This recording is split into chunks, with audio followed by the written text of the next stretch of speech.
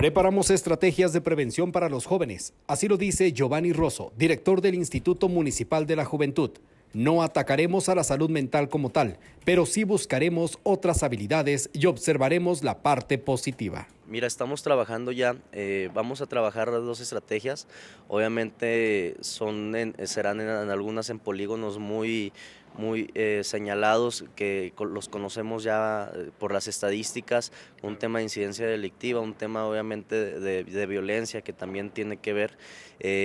vamos a traer un, un, plan de acción muy emergente que va a ser una transversalidad con otras dependencias. Y por otro lado vamos a darle un poquito más al tema de la prevención.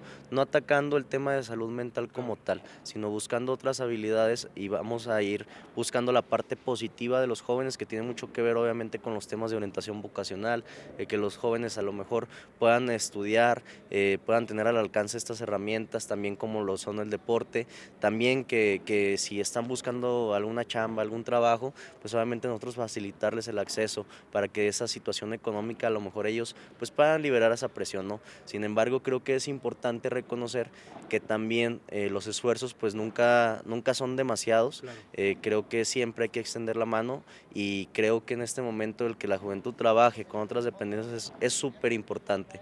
Pero nosotros esta estrategia lo vamos a trabajar de un lado más positivo a, que en lugar de atacar los casos como de, suicidio como tal, vamos a buscar atacar un lado más positivo, buscando pues el talento y el desarrollo eh, en, en, los mismos jóvenes. ¿no?